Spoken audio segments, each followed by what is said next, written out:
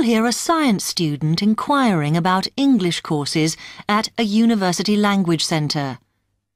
You now have 30 seconds to read questions 1 to 7.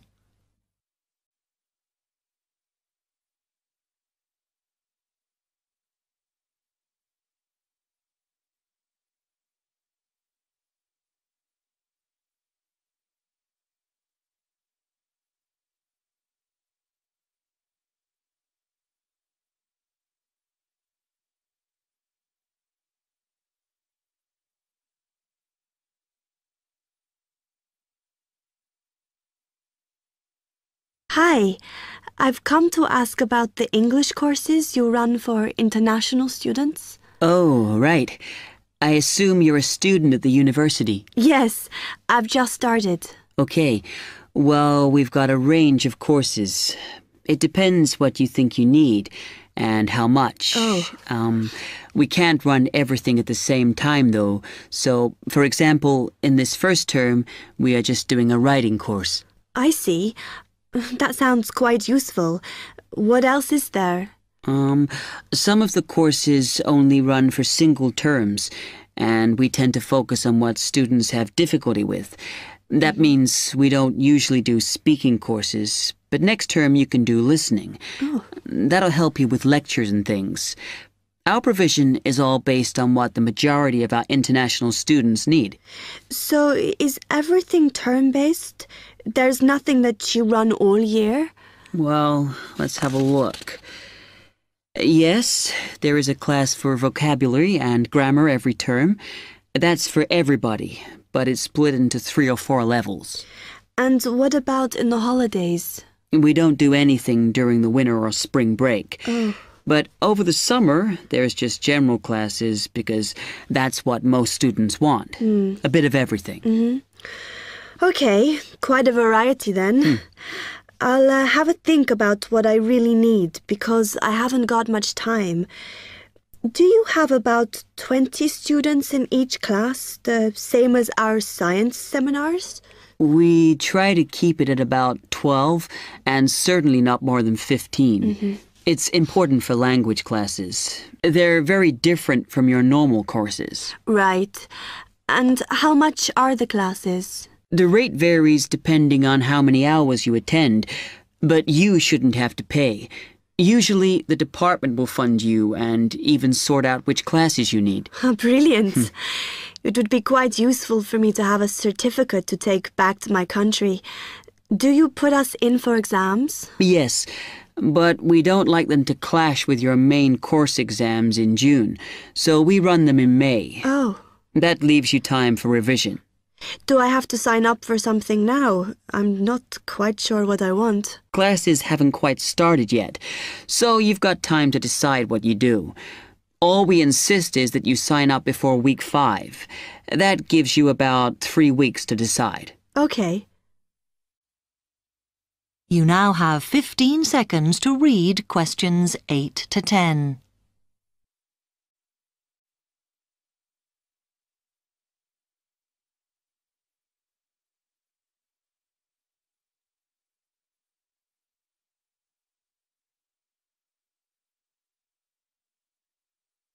Then, when you've made up your mind, you need to come back here to the administration office to enroll.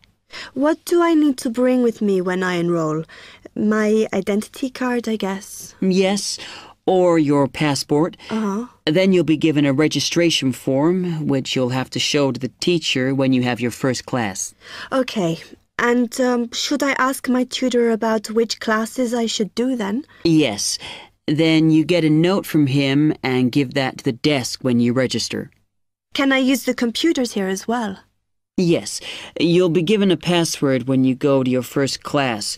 So remember to bring a disk with you to save your work on, as you won't be allowed to save it on the hard drive. Okay. Will I need anything else? Dictionary? We've got loads of those here that you can borrow. But you'll need a notebook as we don't provide paper or files. Okay. Thanks.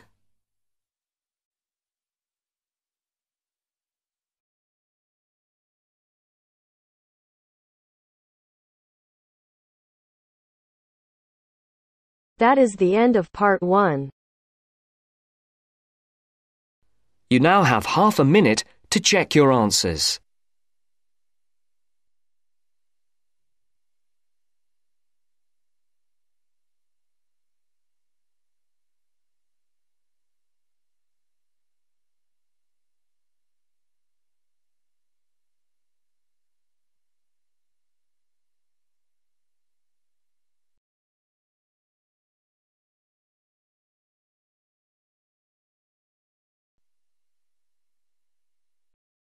Now turns to part two.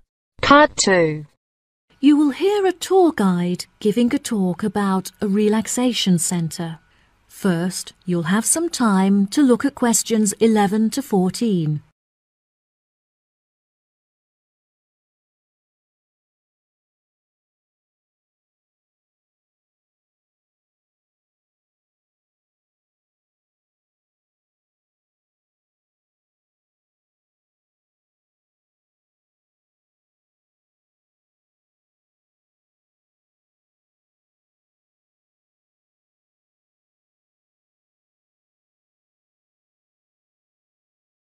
Now listen carefully and answer questions 11 to 14. Hello everyone, my name is Sally. Welcome to our globally renowned spa and relaxation centre here at Island View Estates. Before you all wander off and begin exploring the facilities, I'd like to go over a few things. Now, this year is a very special milestone for our beloved centre, as it is our 25th anniversary. I understand that this means you have all paid an increased price for your tickets, but I can promise that all of the events we have scheduled for your enjoyment will make the costs well worth it. I know that all of you have travelled a long distance to make it here to the centre of the New Forest, but it is thanks to its remoteness that our centre is such a beautiful place to relax. I'm sure you are all keen to find out what activities we have arranged for you, so I will give you a quick overview. Tomorrow we have arranged for you all to participate in a yoga session for the duration of the morning, followed by a day of relaxation at the pool where we have ample sun umbrellas to protect you from the sun. On Wednesday we have organized a sightseeing hike through the forest where you will be able to test your navigation skills and witness the wild ponies in their natural habitat. It's forecast to be sunny that day, but I recommend that you all bring rainproof clothes just in case. On your last day, we have a special surprise a pony trek along the beach. We ask that you all wear full length trousers and that all women have their hair tied up in a ponytail. Helmets are provided at the centre for those who would like to wear one. There are a couple of beautiful attractions here at the centre that you must all be sure to visit before you leave. The Rose Garden, located just at the corner of the property, is home to many indigenous species and is beautifully serene and peaceful the perfect place to collect your thoughts or read a book. Our sunset boat ride has been the favorite attraction for many of our visitors. Simply hop aboard and relax whilst we sail you out into the open sea to witness one of the most beautiful spectacles that nature has to offer. Last, but certainly not least, is the freshwater pond, which serves as a watering hole of sorts. Some of you may even be lucky enough to spot our resident kingfishers, who are members of a very rare and endangered species. Once you have all unpacked and settled into your rooms, we will be taking you out to the neighbouring island for a bonfire and barbecue dinner. The island is very small, and the bicycle trails make it very easy to explore all of its beautiful corners. As the island is entirely separate from the mainland, it has never been inhabited by wildlife, so you can all roam freely and safely. We have some bonding exercises for you all to take part in around the bonfire. where you can potentially make new friends and discover a lot about yourself. Before you hear the rest of the talk, you'll have some time to look at questions 15 to 20.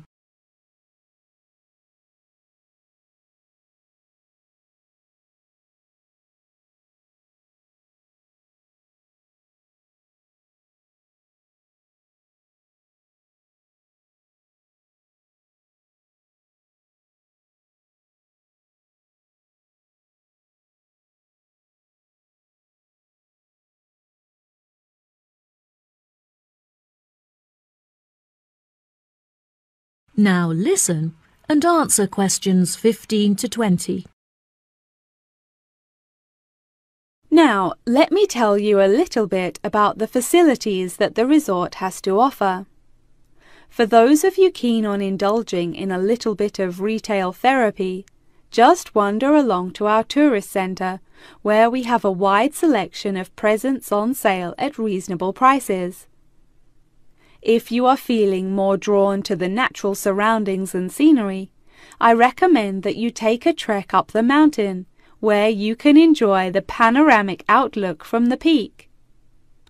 For a bit of cultural indulgence, why not pay a visit to our small on-site theatre where you can enjoy watching a range of movies and check out some works by our resident street artists. Just a 10 minute walk down the road is the local art museum, where you can roam around the sculpture courtyard or admire the many artworks on display. Here at the resort, we are incredibly lucky to be located right next to a nature reserve, where many species of endangered wildlife live in the pond. Just on the bank is a small hut where visitors can observe the fish and birds in their natural habitat. Now, if any of you are interested in history, you have the very interesting opportunity to visit the ancient building at the south side of the grounds. The building is now a museum. However, it originally served as a jail for those charged with crimes of treason against the royal family. Well, that just about rounds it up. Now, if anyone has any questions? The end of part 2. You now have half a minute to check your answers.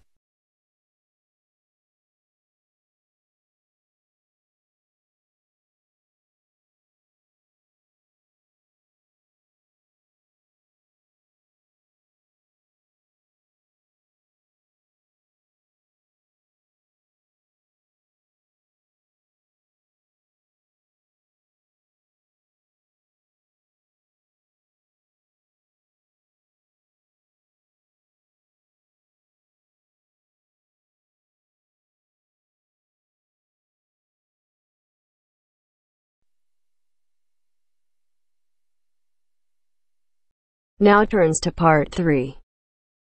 Part 3.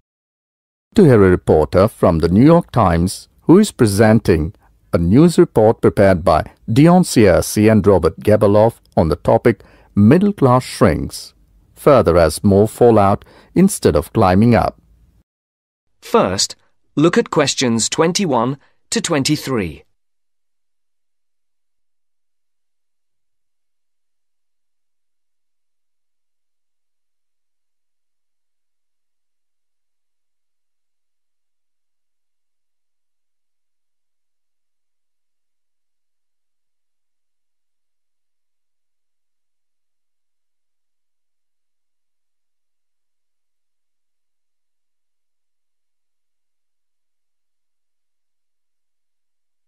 As you listen, answer the questions. The middle class that President Obama identified in his State of the Union speech last week as the foundation of the American economy has been shrinking for almost half a century. In the late 1960s, more than half of the households in the United States were squarely in the middle earning. In today's dollars, $35,000 to $100,000 a year. Few people noticed or cared as the size of that group began to fall. because the shift was primarily caused by more Americans climbing the economic ladder into upper income brackets. But since 2000, the middle class's share of households has continued to narrow, the main reason being that more people have fallen to the bottom. At the same time, fewer of those in this group fit the traditional image of a married couple with children at home, a gap increasingly filled by the elderly.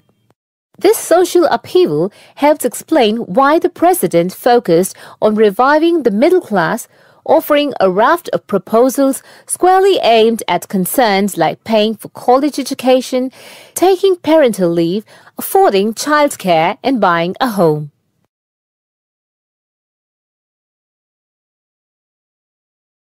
Before the conversation continues, look at questions 24 to 30.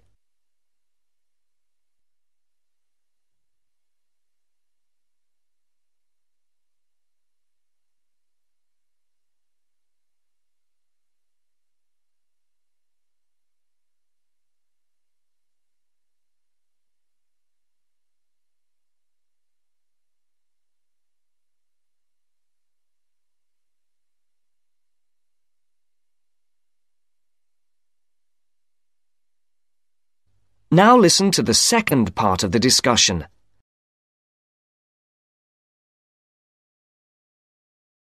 Mr. Obama told Congress and the public. Still, regardless of their income, most Americans are identified as middle class. The term itself is so amorphous that politicians often cite the group in introducing proposals to engender wide appeal. The definition here starts at $35,000, which is about 50% higher than the official poverty level for a family of four and ends at the six figure mark. Although many Americans in households making more than $100,000 consider themselves middle class, particularly those living in expensive regions like the Northeast and Pacific Coast, they have substantially more money than most people. However, the lines are drawn. It is clear that millions are struggling to hang on to accoutrement that most experts consider essential to a middle class life. I would consider middle class to be people who can live comfortably on what they earn, can pay their bills, can set aside something to save for retirement, and for kids in college, and can have vacations and entertainment, said Christine L. Owens, Executive Director of the National Employment Law Project.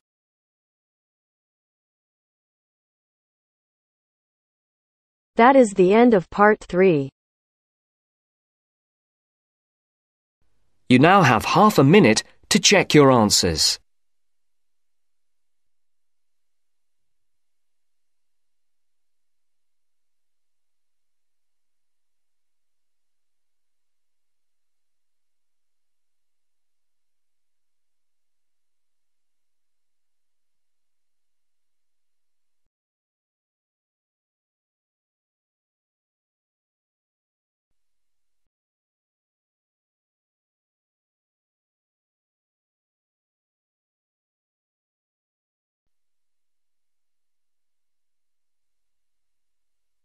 Now turns to part 4. Part 4.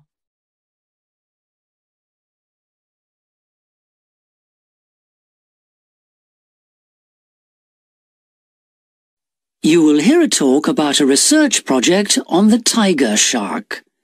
First, you have some time to look at questions 31 to 40 on pages 7 and 8.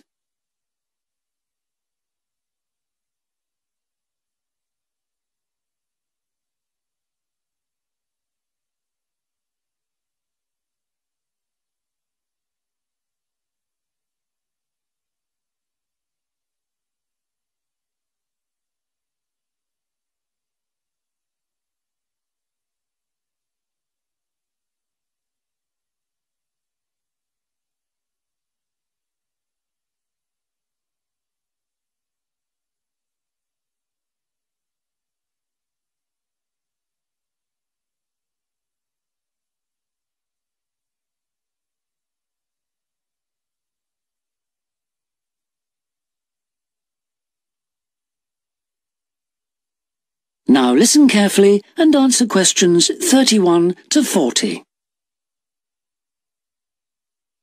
Good morning, everyone.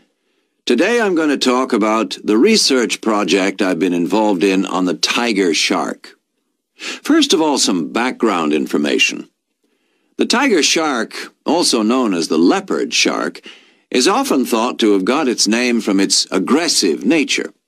But in actual fact, it's called that because it has dark bands similar to those on a tiger's body. It is a huge creature, growing up to lengths of six and a half meters. It can be found just about everywhere throughout the world's temperate and tropical seas, but it is most often found along the coast rather than the open sea. In terms of feeding, tiger sharks tend to be most active at night and are solitary hunters. Their preferred prey includes other sharks, turtles, seabirds, and dolphins, to name but a few. However, it's not uncommon to find garbage in its stomach.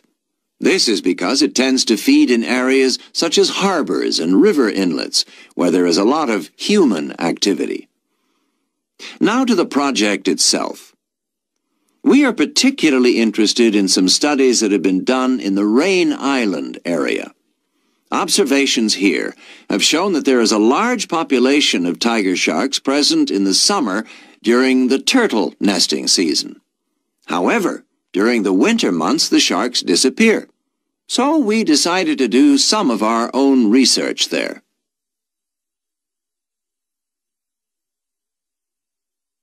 The first step was to tag a number of sharks so that we could follow their movements. To do this, we first needed to catch the sharks. Early in the morning, we baited lines with large bits of fish and set them in place. These lines were then checked every three or four hours. If no sharks were caught, the baits were replaced. Once a shark had been caught on one of the baited hooks, it was pulled in close to the boat and secured so that we could carry out a number of brief activities to aid our research. This usually took no more than about 10 minutes and was carried out as carefully as possible to minimize any stress to the shark. Each of the tiger sharks that we caught was measured and fitted with an identification tag, and also a small amount of tissue was taken for genetic studies. For some larger sharks over three meters long, we also inserted into the belly a special acoustic tag capable of sending satellite signals while on other large sharks we attached a camera to the dorsal fin to enable us to study the behavior and habitat use of the sharks. After this, the shark was released, and we were able to follow its movements. So what was the purpose of all this tagging? Well, while we were already familiar with some aspects of the tiger shark's behavior and food sources, what we hoped to do in this project was to see exactly what factors affected the migration patterns of tiger sharks and whether it was in fact food, weather, and reproductive needs. These are some of our findings. On February 21st, a large female shark, whom we named Natalie, was attracted to our research boat at the northern tip of Raine Island and fitted with one of the satellite tags I've just mentioned. No transmissions were received from Natalie between April 2nd and April 29th, indicating that she didn't surface to feed during this period. The area in which she was last reported is very shallow, suggesting that she may have changed her feeding preferences during this period to focus on prey found on the sea floor. We also made a number of other discoveries, thanks to the various transmitters we used. It seems that tiger sharks move back and forth between the ocean floor and the surface quite often. This may help the sharks conserve energy while they swim, but it probably also helps them hunt, since this movement back and forth maximizes its chances of not being detected by its prey until the last minute. So far our findings have not been conclusive.